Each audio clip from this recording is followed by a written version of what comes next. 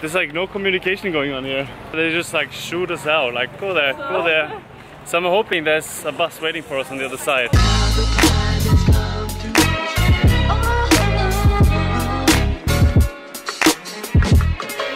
So we were woken up by the craziest thunderstorm today. Today is another travel day. We're heading for Cambodia. But first of all, we have a scooter that needs to get to the pier. And we have a minivan that's gonna pick us up here. I'm gonna head off, drive the scooter over to the pier, and then you're just gonna come with the minivan and all of the luggage. Grey weather, really rainy.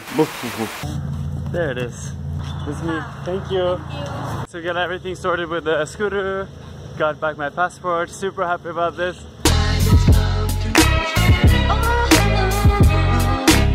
Yeah, we made it to the Cambodian border. I slept through a little bit of it at least. So the minivan driver obviously can't cross with us, so they just like shipped us out, say go there, but Cross the border, get visa. cross the border, do everything, and then I'm not sure what happens. I mean, I'm assuming we have transport from there, but there's like no communication going on here.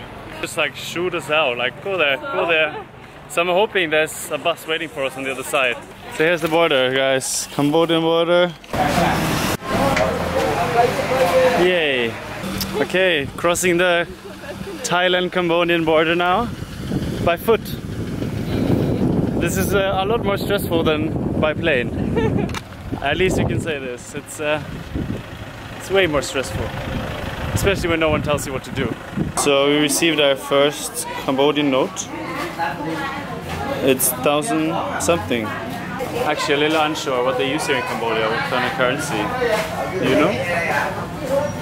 Now they want to have to get the visa and we're just gonna pay and I'm gonna take care of our stuff. They just took me to like a staff only room where they sat a few people. The stamps paid, it's 1,500 baht per person. It's about 40 euros, a little less. Yeah, but I think it's about right. Yeah. Uh, so there's a bus station about 15 minutes away and there's a bus leaving in about 14 minutes. So we paid a taxi now to try to catch that. And if not, we have to wait two and a half hours more for the next bus.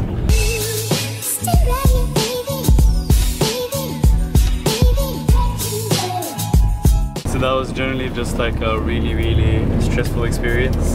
There was no communication going, most of it in just languages we don't understand. They just like rushed us through the whole thing. We had to, I mean, everyone asked us for money, we didn't know who to pay. We actually managed to get on the bus, or a bus. We actually don't know if it's going to the right place, but we hope so.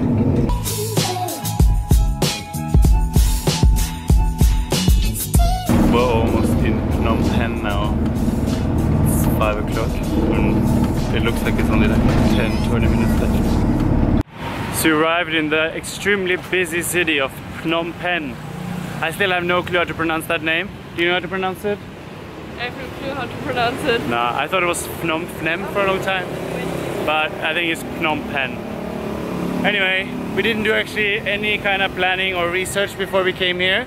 So we have, yeah, we have basically no internet on our phones. We don't know where our hostel is. We don't know where we are. So we just went to a shop and asked if we can borrow their Wi-Fi to look up where our hostel is. And unbelievably enough, it's actually 12 minutes away only to walk. So Yeah, yeah. we're so lucky. I was like in the whole of Phnom Penh, Phnom Penh, Phnom Penh, and it's only 12 minutes. That's quite amazing. Finally arrived and we get a free update, guys. Ah.